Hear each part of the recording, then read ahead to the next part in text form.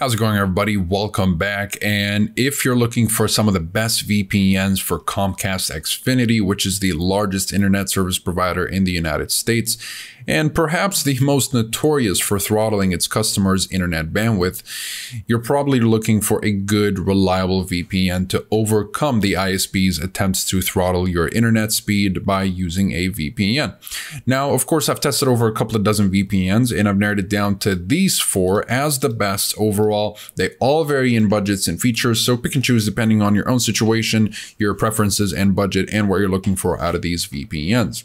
Now, ExpressVPN is going to be the best VPN overall for utmost privacy and security. You've got over 3,000 servers in 94 countries, and you'll be able to secure up to five devices per subscription. It's a very easy VPN to use and highly compatible. Now, if you're looking for something that's about half the price as ExpressVPN, you can go with NordVPN with over 5,600 servers in 59 countries, and you'll be able to secure up to six devices per subscription. It's a great, well-rounded VPN for top security security and performance, and you get a lot of value for the money. Now, if you're looking for the best budget VPN that gets the job done at the cheapest possible cost, without sacrificing any of the necessary security features that you need to keep your devices secure, then Surfshark is going to be an amazing option, especially that it has over 3,200 servers in 100 countries, and you'll virtually be able to secure an unlimited number of devices with just a single subscription. So this makes it a great option if you want to share your account with as many friends and family members as you would like. Now, if you're looking for an even cheaper option, but not necessarily a worse option, it's just that you don't really get any of the features that you get with Surfshark, you know, such as uh, split tunneling, functionality in censorship heavy countries, and these two specialty servers that can be very useful.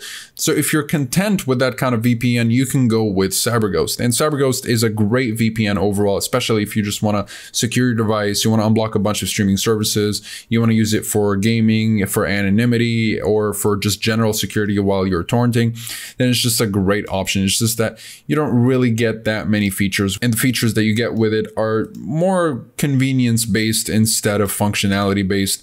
But you get over 7,000 servers in about 91 countries, and you'll be able to secure up to seven devices per subscription. So it's all up to preference at the end of the day. If you guys are interested, though, in learning a little bit more about the privacy policy, speed streaming, and torrenting capabilities, as well as security and features, you'll find the full reviews down below, and you'll find links to pricing discounts if you want to jump straight to that. Of course, they're all covered by a money back guarantee, so you can just test drive these VPNs, and if you're not satisfied with any of them, you can just ask for the refund. Express, Nord, and Surfshark have a 30-day money-back guarantee. Meanwhile, CyberGhost has a 45-day money-back guarantee. So you have plenty of time, no matter which one you go for, uh, to just test it out before you fully commit to it.